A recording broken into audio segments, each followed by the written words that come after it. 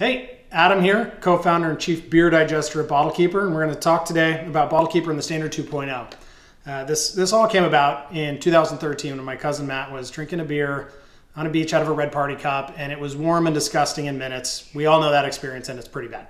So came up with a better way. We could keep the beer in the bottle and uh, insert it into an insulated container, and we got Bottle Keeper. So how we use the product is we unscrew the base. You'll notice that there is a pad inside the bottom, so when you drop this, it's not going to explode. There's also an insulating liner, which is what keeps the beer cold. To use Bottle Keeper, you just insert the bottle, screw on the base. We'll notice that there is a tether to keep the cap attached so you don't lose it. There's an opener built into the top so we can open that enclosed beer bottle. And there's also a seal inside the cap, which will seal this bottle and keep the beer inside the bottle. So you put the lid on, the, the lid has a height range, which allows us to fit a couple of different sizes of bottle from your normal long neck to the bigger, taller long necks like Corona. You screw it on and you are good to go. And that is Bottle Keeper and the Standard 2.0.